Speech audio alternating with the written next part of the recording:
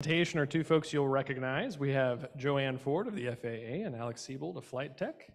They will be coming up to talk to you about Point in Space, and update on that project. So a round of applause for them, please.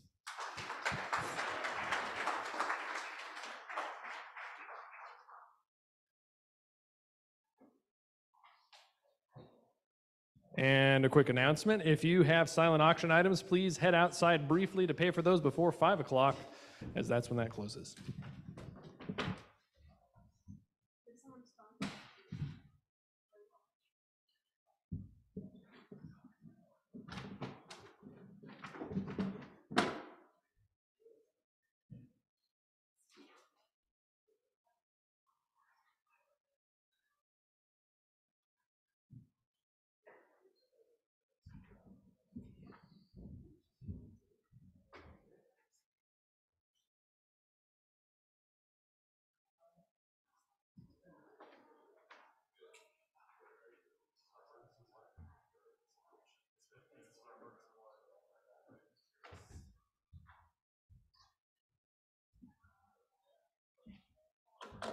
Okay.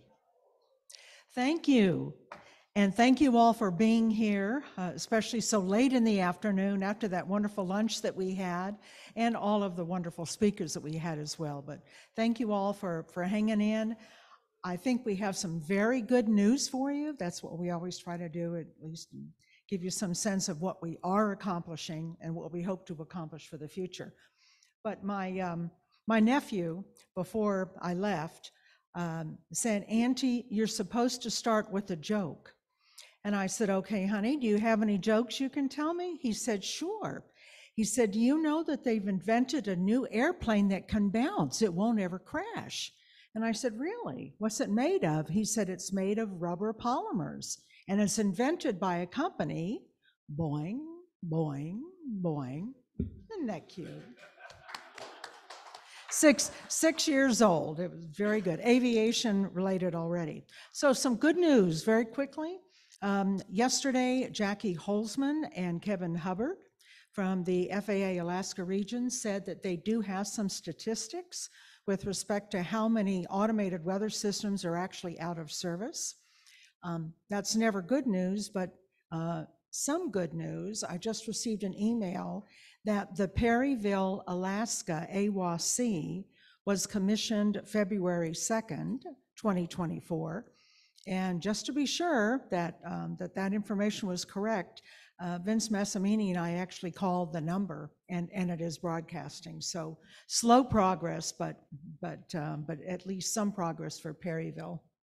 Um, and the one thing I wanted to add for the last speakers we had, she indicated that the average that a tourist spent was about a thousand or fifteen hundred when they come to Alaska. What she failed to say was the exception is for the week of the Alaska Air Carriers Association, and the exception is for me, because we certainly, those of us that come here with the wonderful auctions that you have, none of us spend any less than, or any, uh, any less than $1,500. So you keep it up, well, thanks to, thanks to everybody. Yeah, thank you. So as I said, we, we do try to, whatever advice, whatever you have to say to us as far as what you want, especially in the line of navigation, that we do try to bring you some, some very good news. Um, the FAA, and you hear me say this every year, we try to do the best we can with the funding that we have. And despite the competition for funding, we try to do whatever we can, especially in the state of Alaska, because you do need, um, you do need the, the safer um, uh, approaches that, that WAAS LPV can offer you. And thanks to so many of you and your companies who have um, accepted the challenge years and years ago and equipped it, uh, and equipped your flight with, with WAAS LPV because it certainly is safer and much more economical. The thing is with, with the FAA, we reached, uh, even though we kept trying to find other things to do with the WAAS technology, we did reach a stalemate in that the only thing we could do was really just provide straight ins for WAAS LPVs, which were fine. I mean, it's still vertically guided and it's certainly better than not having any vertically guided approach uh, previously. But the, we slowly started running out of runway ends, and there still are some available, but runway ends for the straight ends. Furthermore, even though we knew that the WAAS technology could still provide us with, with, um, with other uh, advantages, uh, both en route and for approaches, other than just straight ends, and with single frequency rather than waiting for the dual frequency, the FAA failed to have the automation as well as the resources to be able to make any of that happen. But thank goodness for companies such as Flight Tech Engineering, who have the vision, who have the technology, who have the work ethic. And I, I just thank God every day um, for his bringing us together so that we could use the, the WAAS technology that we have in far better ways than, than we have in the past with just straight ends. With advanced WAST LPV approaches, um, we have, who would ever have imagined that we would be able to have a WAAS LPV to water with float planes? But we've not only done it once, we've done it twice. And you'll, I don't want to steal all of their thunder. Um, so they are uh, going to come up and speak to you about what we have been doing here in the state. We have a lot more planned for 2024. I will just sidebar a little bit and say that the one thing um, we still need to talk about with all of you, with especially with your membership, is GPS resiliency and where we want to go with that. We know we have a minimum operating network for the lower 48, but as Fozzie uh, and Ken Hubbard, uh, Ken Hubbard described yesterday, with one of the Fozzie recommendations, we are developing a GPS resiliency plan for the state of Alaska, which is going to help tremendously. We have a DVT program that's being developed and funded, but that'll still be another two or three years. But at least it's it's all very promising. So there's more on that. Feel free to, to call or text or write or whatever if you want more information on that. We're also going to start be bring, we're going to start bringing more information to the Alaska Industry Council, which which are bi-monthly, to keep you all um, apprised as uh, as to what we are doing with the GPS resiliency. The purpose of that program is if you're flying with GPS and you use the capability that you are able to recover safely and make uh, an informed decision as to either land or to keep flying um, by way of, of VORs or other ground-based nav. That, that's the long and short of it. Um, but we have an, uh, an excellent, for those of you that are able to, to um, just stick around, if you want to come to the WASP booth, Dr. Vince Massimini, who I, I always say is, is actually the father of our VOR, uh, VOR MON program. He's here, and as I said, please feel free to, to call or text or whatever if you want more information on that, because it is going to impact your state. We're hoping in a positive way, but we need your input on all of that. So at this time, I'd like to turn it over to Flight Tech Engineering. Again, thank them for their partnership and everything that they have been accomplishing, especially some of the recommendations that your membership um, requested through the Alaska Air Carrier Association, the board, such as Point in Space. So thank you, um, Alec. Yeah, thank you. Oh, okay.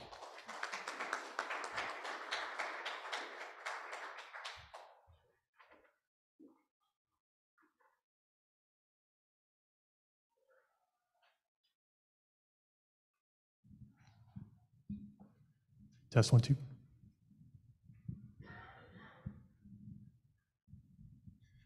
Hello, everyone. I'm Alec Seybold with Flight Tech. I'm going to grab the uh, pointer here and come to the lower stage for the prezo. So I'm going to talk about uh, WAAS navigation improvements in Alaska that have occurred over the last few years and uh, some of the future projects that we're going to be working on.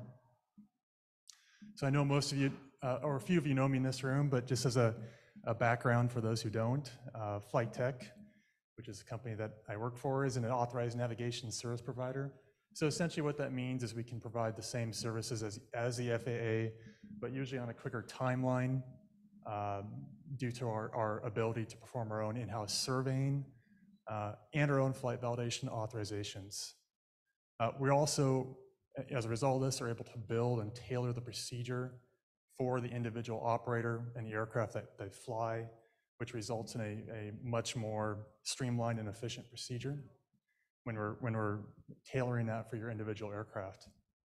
So we're made up of a team of design specialists, uh, terpsters, engineers, validation pilots, and this allows us to handle that whole entire process from concept to the development and ultimately validation and, publication of the instrument procedure. So our largest service, service region is Alaska. Uh, we cover the entire area from the Arctic to, to the southeast portions of the state. Uh, and we primarily develop for Part 91, 121, 135 operators, and also for private airport owners. And we're going to talk about that here in a little bit. So just a, few photos of, uh, locations we've, we've worked at and assisted with, and some of you guys probably recognize these locations um, throughout the state. Uh, So JoAnn mentioned this, and, and, and you can see the excellent poster in the, uh, the FAA booth, the- at the WASP booth in the exhibitor side. Uh, This is something we're, we're pretty excited about, and, you know, we've talked about this for, for a few years, and, and now I think we're, we're going on or almost our, our fourth season now, uh, which is the first WASP LPV approach to water was, uh, was developed here and implemented in Alaska in 2021. Is essentially the same as if we, we put an, a, a multi-million dollar ILS system out in the middle of the, of the water lane and, and provided navigation for that aircraft uh, to, to reach almost Cat 1 ILS minima uh, to the water. Uh, Like I said, it's on a fourth, fourth year, uh, providing repeatable IFR seaplane access to defined water lane. Now, we realize this doesn't work out for everyone, especially if you're you're, you know, running a sight, sightseeing tour and, and you need people to see what, uh, what they came to, to actually look at. But for those folks who are running you know, scheduled service to, um, to, to lodges or, or destinations that require water access or water entry, uh, this has been a game changer in, in the industry, uh, leading to, to a more reliable and, and safer service to those water lanes. Uh, and, and some exciting news that JoAnn kind of alluded to was we just had our second WAAS LPV just recently approved, and that's at uh, Kenmore Harbor uh, near Seattle. So it's, it's starting to catch on uh, elsewhere, and um, it's neat to see. Here's a, uh, just a quick shot of, well, what, is, what does that look like in, in, uh, in practical application? So here's at, uh, in Southeast Alaska, and you can sort of see the, you can see the uh, clouds right down there on, on uh, right at, at tree level. And uh, here's the aircraft on, on its uh, final, final approach. They, they broke out at, at minimums and were able to see the, uh, the marked water lane and, uh, and transition to a, a visual, visual landing phase for bringing in these, these guests from, from Ketchikan. Uh, something we've been working on for the last few years is, a- is a new concept. Uh, we'd like to, to think of it as a, a co-op model of navigation. Uh, we call this the, uh, the NavShare program. And one of our, our first major deployments uh, was in Southeast Alaska, uh, just an area that was really underserved by WAAS and, and WAAS LPV and LP procedures, uh, mostly because of just challenging terrain, challenging weather conditions.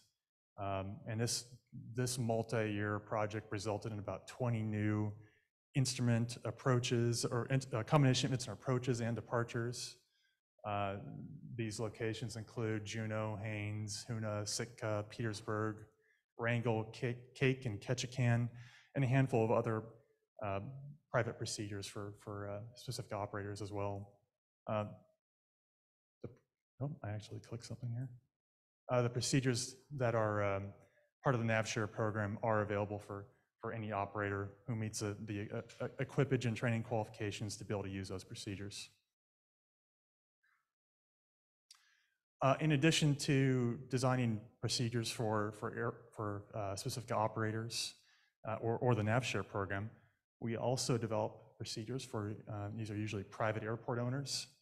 And as a private airport owner, if, if the airport requires permission to use the airport, they're not eligible for, for public distribution. So for those, uh, for those type of uh, airport environment, we, uh, as a, as a FAA authorized service provider, uh, work with those airports to develop procedures that operators can use. So once again, we try and tailor those to the operators that are, that are flying to these locations.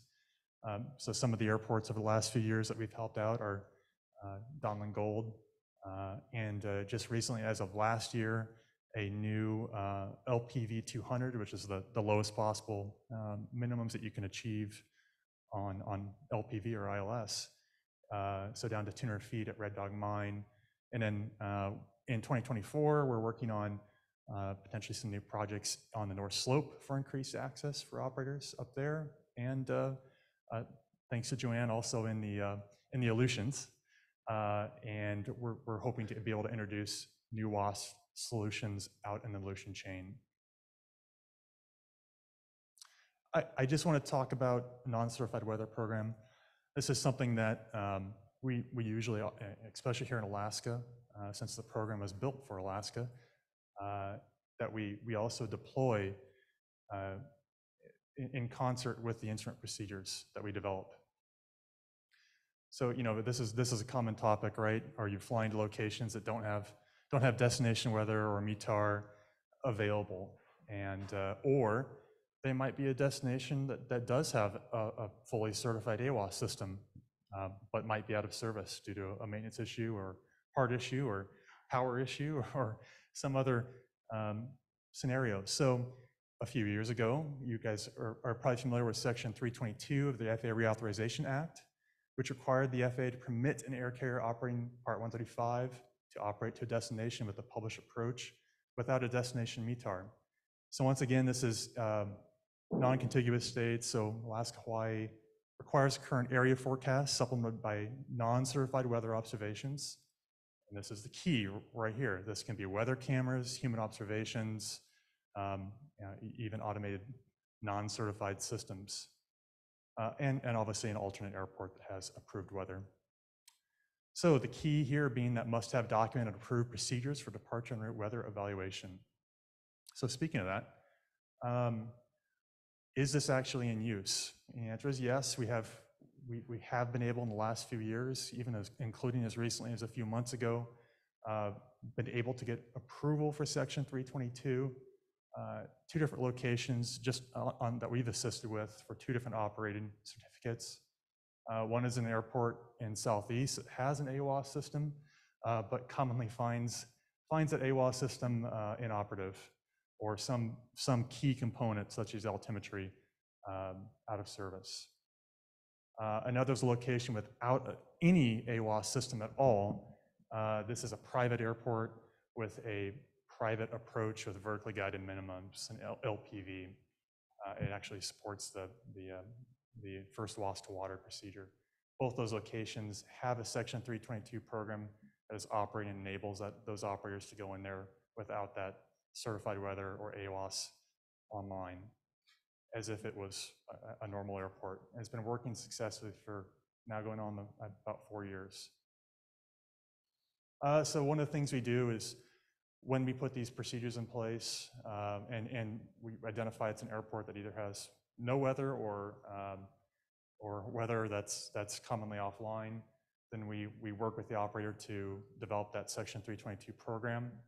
Uh, That includes developing documented procedures for how to maintain and, and use all of those weather station instruments, uh, training programs, uh, validation, um, and uh, ultimately working with your, helping you with your POI submission.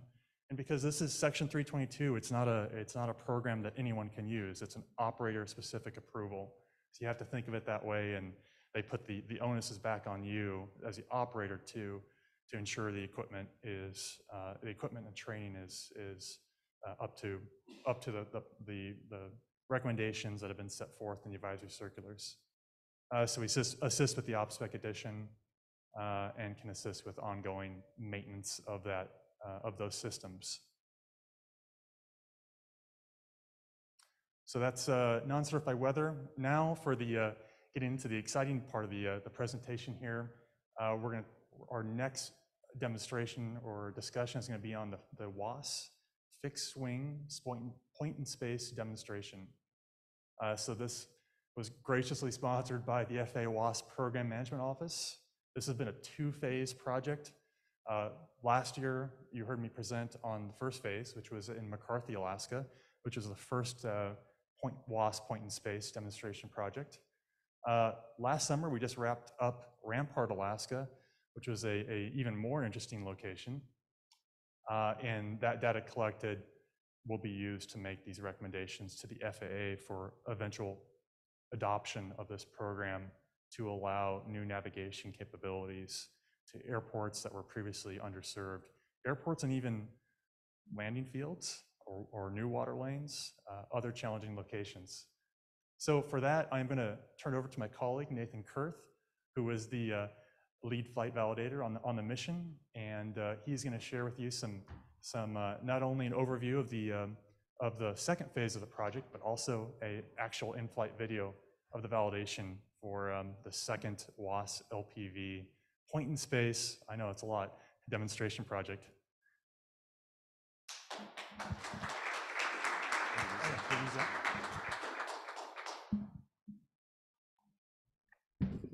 All right, thank you, Alec. Appreciate it. Appreciate it from everybody as well.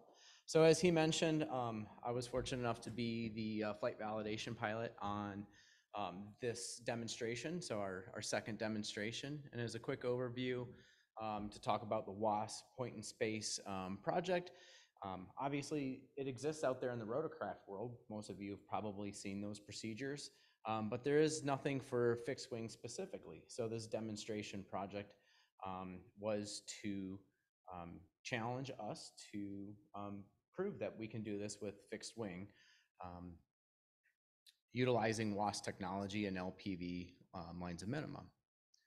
So looking into this, looking at the WAAS um, um, technology, uh, one of the challenges that we had was um, demonstrating um, using a remote altimeter setting. Um, most of these, or this idea is in a remote location to have these procedures put in place. So there is no local altimeter setting in, in uh, a, a location that we've chosen. So remote, using a remote weather for demonstration, demonstration and then challenged with coming up with a solution using the WAAS signal um, to derive altimetry. So our solution was to use our GPS altitude and we use that GPS altitude to set the altitude into our altimeter. Um, and we're using that geo-referenced altitude at that point. And we have um, a, a, a, um, a point on the procedure that we coined uh, Baro Sync Point, which I'll talk about, and that is just an action that you take during the procedure to um, set your altimeter to your GPS um, reference altitude. We've tested this on common avionics. So our first phase was on a Garmin, Gar, excuse me, a Garmin platform. Um, we also wanted to expand that um, test bed. Um, so we also utilized a Honeywell avionics platform. And this just proves that it can be uh, performed on multiple platforms, not just one, recognizing that most operators up here are most likely using Garmin avionics suites. Just as an overview of our phase one demonstration at McCarthy, this is just the design overview. Um, it's basically a standard RNAV type procedure. Where it gets interesting is the, the final approach segment. Um, in this, the only piece I'd really want to highlight is um, it was more aligned with the runway, so not exactly aligned, it's about 20 degree offset. Um, but you could see the runway environment from the FAF. So that was kind of our phase one implementation of this to, to work into this demonstration project to see if it would work. Obviously, it did in the phase one. And so we wanted to, oh, and then there's the McCarthy chart. So um, breaking down the chart again, just looking um, at that final approach um, segment. Um, the airport's right there, so about 20 degrees offset from the final approach course. Um, moving forward into our second demonstration, we picked Rampart, Alaska, because it's taking what we learned in the first demonstration project and expanding on it and, and trying to find a location that had a little bit more of a challenge to it and maybe more similar to how operators in Alaska are going to utilize this type of procedure. So um, Rampart's in a, you know, a somewhat remote location along the Yukon River. Um, there's undulating terrain in that area.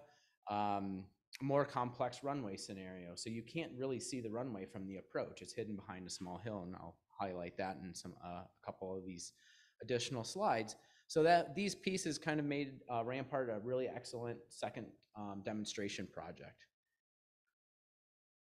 This is just an overview again of the Rampart procedure. So somewhat similar to the McCarthy, but I'll uh, procedure, but I'll dive in here a, a little bit more.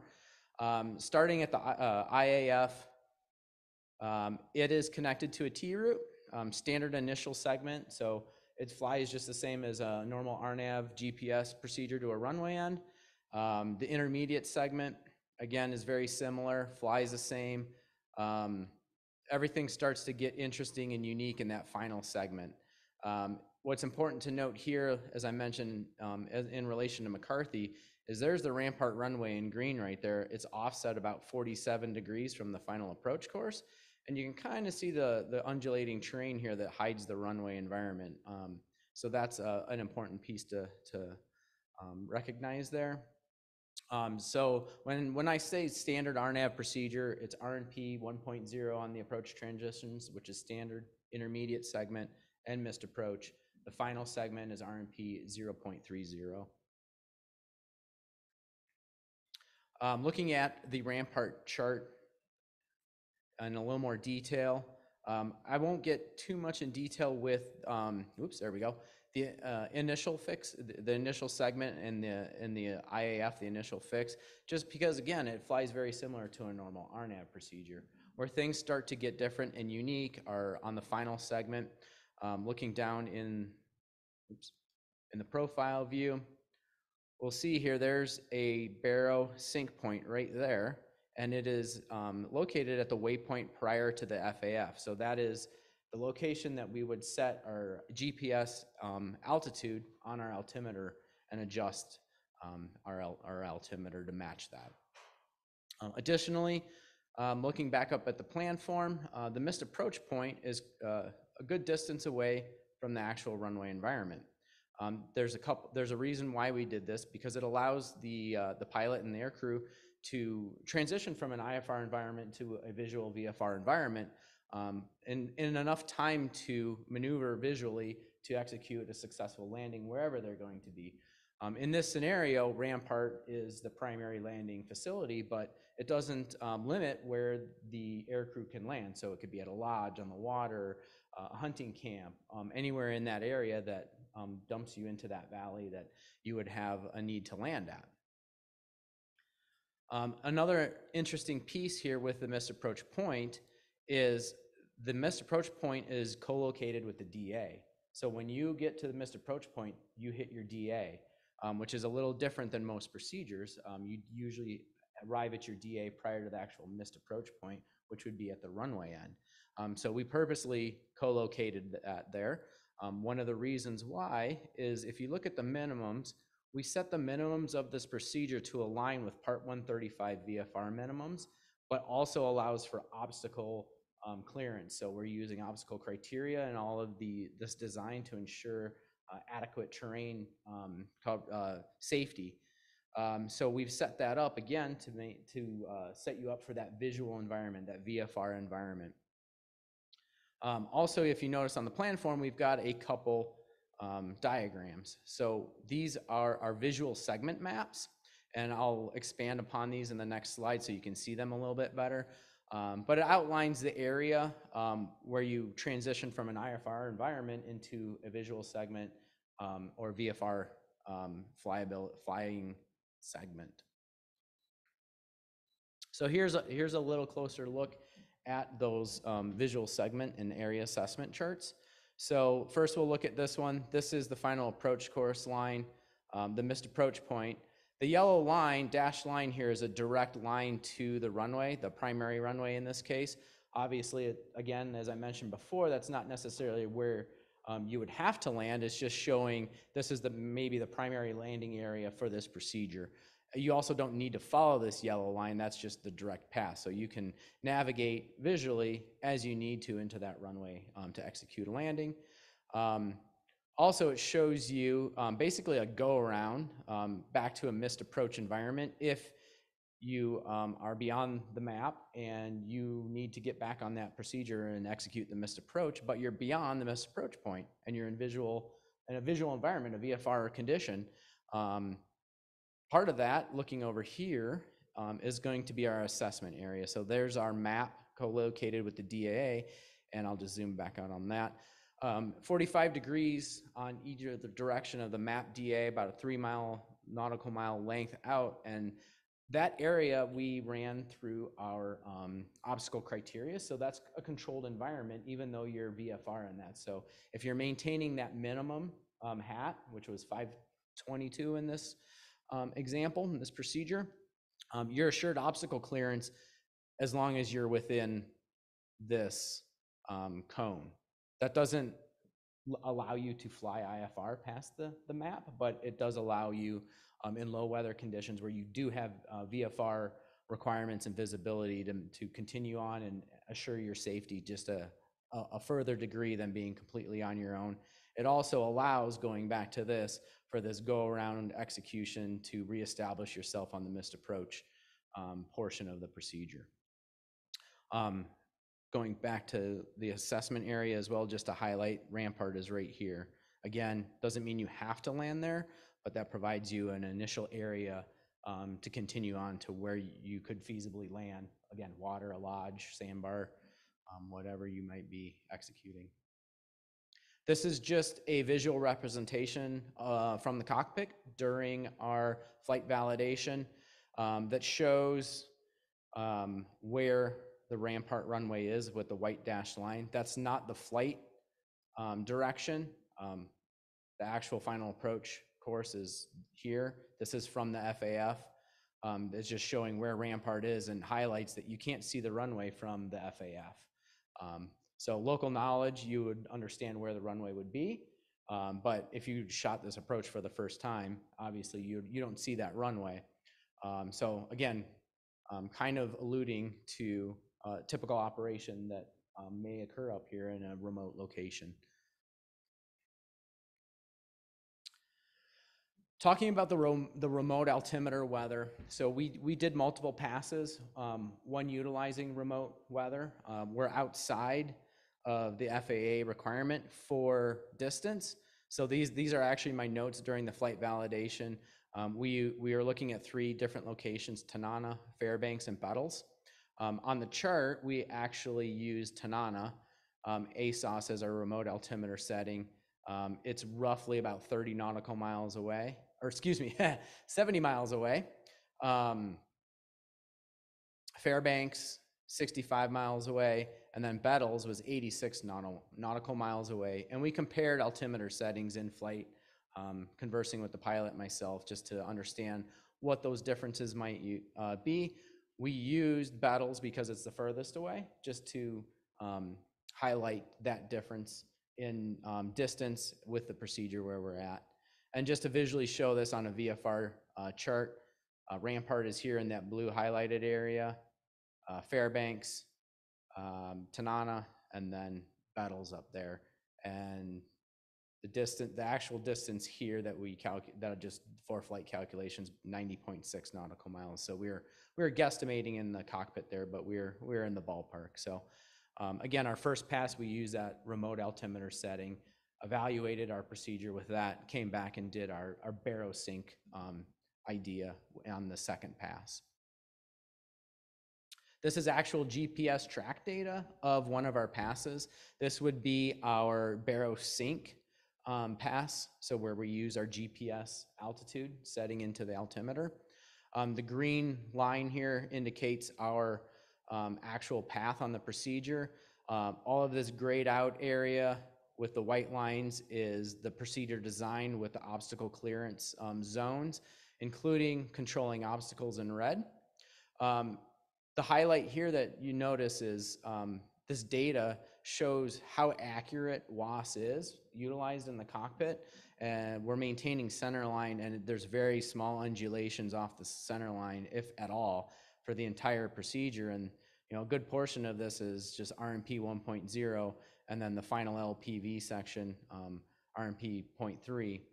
Um, and then you can see the visual maneuver landing at the runway at Rampart.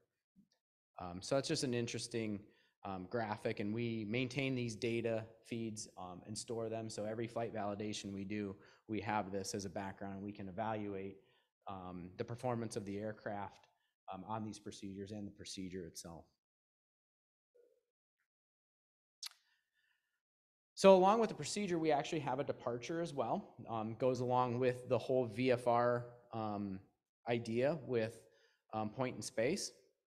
So in this case, our departure um, does not start at the runway. You see this little piece right there, that's the Rampart runway.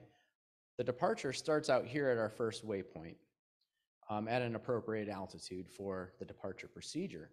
So it's a little different than a normal departure where it commences right at the runway. You take off, you're on the departure procedure.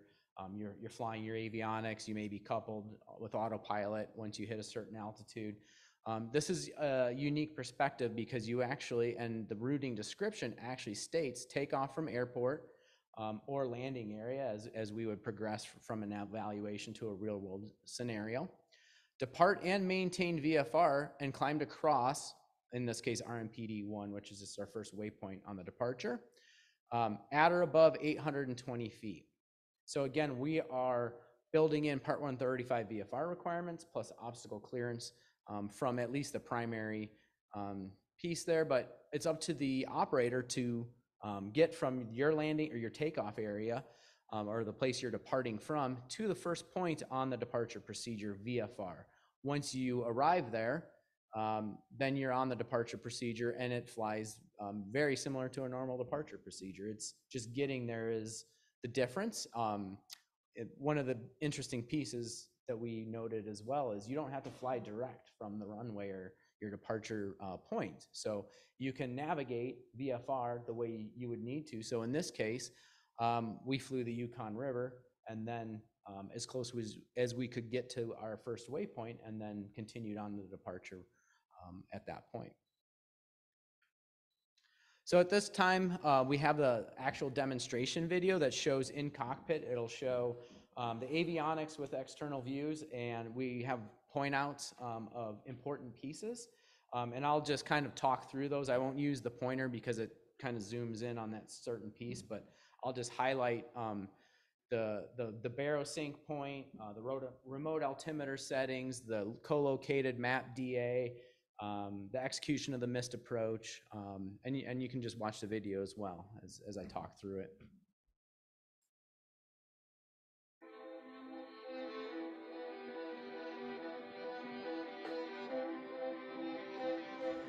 So we did utilize Alaska Air Transit PC-12 on this flight um, with the Honeywell system, as I previously mentioned. Uh, departing from Merrill Field, we flew IFR um, the Rampart area where we vehicle and VFR from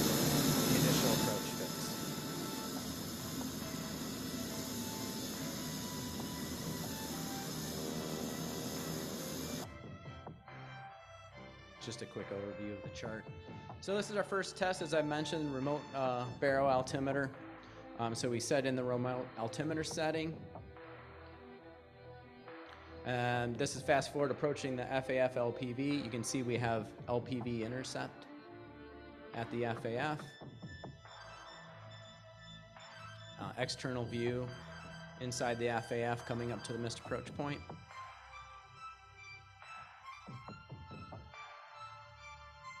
Again, our co-located map DA, so there's 820 feet. Uh, we cycle through to the miss approach segment of the procedure. So on this pass, we fly the full missed approach out to the hold and execute a hold. Just uh, it's part of our flight evaluation um, piece. So test two, again, Baro sync to WAAS altimetry. The GPS altitude is going to be down in the lower um, right there. It's very, very hard to see. It's 2600. We set 2600 in on the altimeter or, um, for our altitude, which actually gives us our altimeter setting for that. Um, again, flying uh, the final approach, coming up on the map DA. Um, we have LPV intercept and capture, 820 feet. Um, this is transitioning to a visual maneuvering uh, to landing. You can see the undulating terrain. There's Rampart runway to the left. and again, the, the, the, the flight crew is um, open to navigate as they need into their landing destination from that map DA.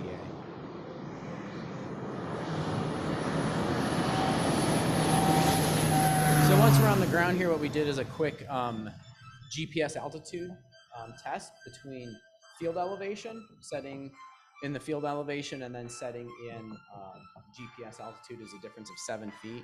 Um, and then now we're on the VFR departure um, section of our departure procedure. So we're departing VFR.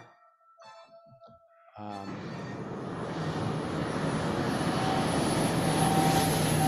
again, the flight crew is going to navigate um, visually to that first point. So here we are flying the Yukon River, um, navigating towards that first point of the departure. And we'll end up eventually over land there, grab that first VFR point at or above 820 feet. And then we're cycling through the departure procedure, and it flew um, exactly like a normal departure procedure. You couldn't tell the difference.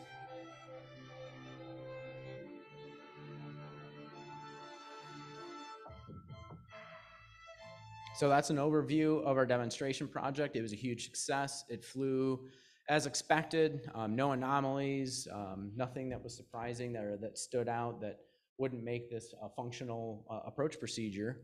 Um, is there anything that I missed that you want to add on to while we're at that point? At this point?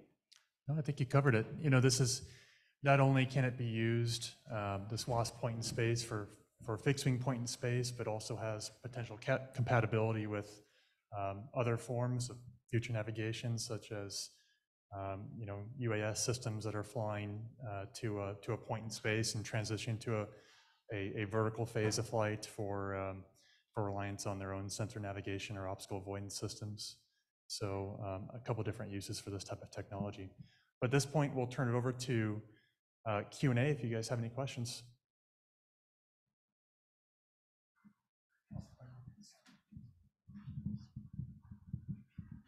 Thank you. Thank you so much. Any questions for myself or them?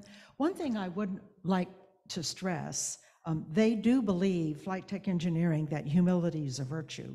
So they're not going to, while they're promoting the wonderful work that they're doing, and we're promoting their work as well, um, they're not, I guess what I'm trying to say is that um, there are so many advantages to what they have just shown us.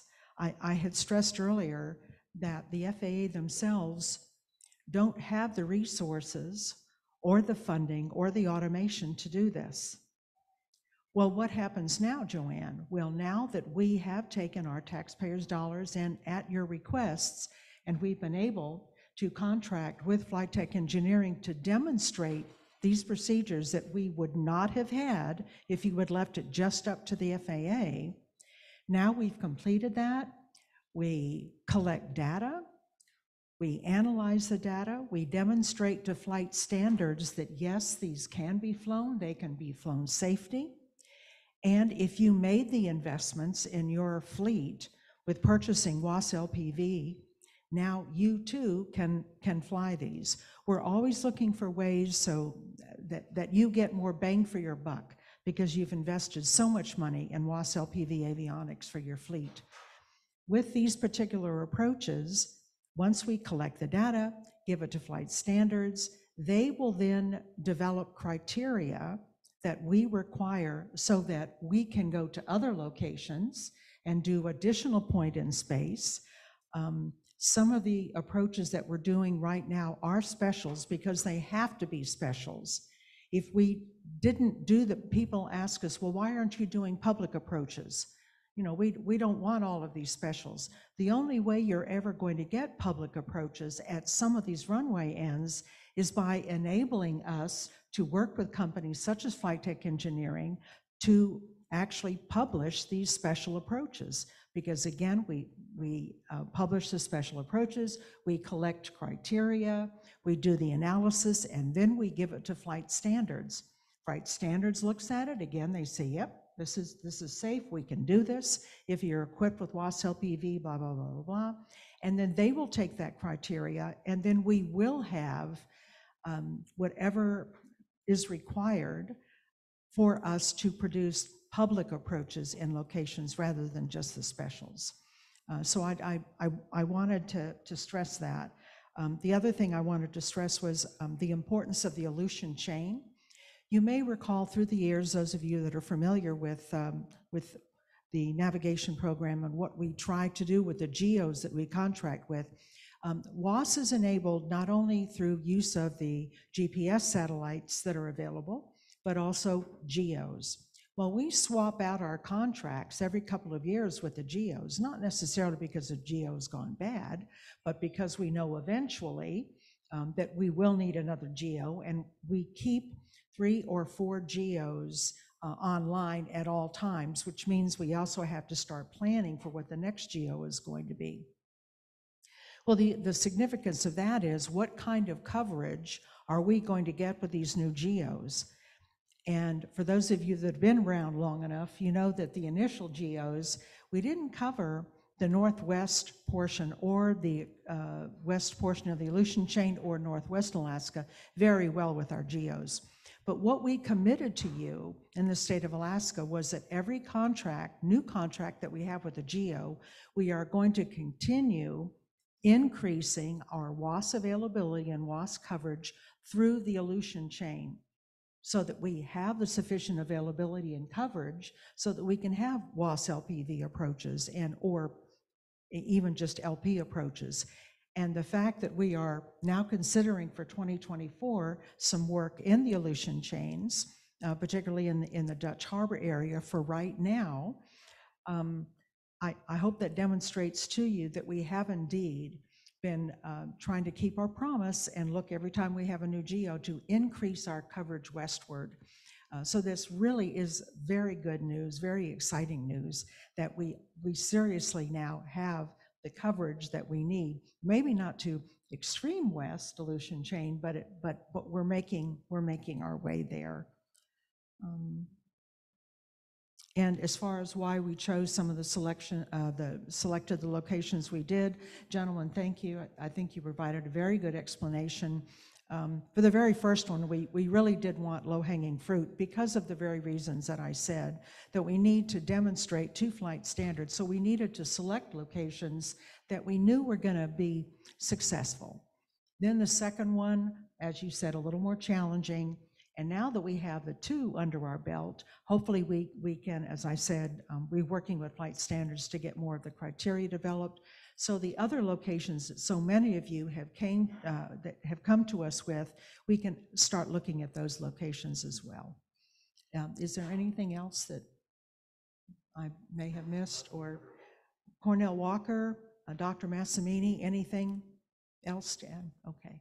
And well, thank you. I know we're, we're a little behind, but thank you so much. And we'll be here for another hour, and, and plus, you have our contact information if you ever have any more questions.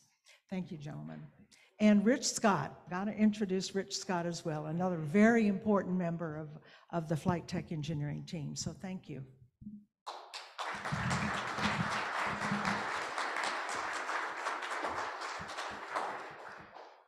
Thank you all. We uh, appreciate those updates as always. And uh, this brings us to our final presentation of the evening and of the main convention itself. So I want to share a brief story. It won't take long. Um, I was I was approached a while back. Alan Stevens, uh, who is the VP of Regulatory Affairs with NATA, came and uh, reached out to me and suggested that we do something together. And that was our Business Aviation Roundtable. So some of you may have been at that meeting. It was an opportunity for you to share what you experience, your challenges, your issues with NATA directly. And it was successful. We, we heard a lot. Um, so Alan's going to talk about that here in a little bit. Um, but I just want to take a second to say that we are very excited to be partnering with someone who has a national focus and can help us to, to focus our issues and combine the weight of their advocacy with ours in order to get more done at a national level. So thank you very much. I'm going to introduce, excuse me, introduce both Alan and, and also Keith DeBerry, who's with us in the back. He is the COO of NATA. Alan, here you go. Thank you, and uh, I think you're queuing up a slide show there. Now you're going to test my knowledge here, I guess. Okay. I'll let uh, Will help you there real quick. While he's doing that, uh, I just wanted to um, say a big thank you to Will, uh, to the Alaska Air Carriers Association uh, for having us here, also for hosting the Business Aviation Roundtable that we did just a few months ago. Uh, We look forward to this uh, partnership, and what we're going to show you in just a moment is kind of, you know, what is that about? So what?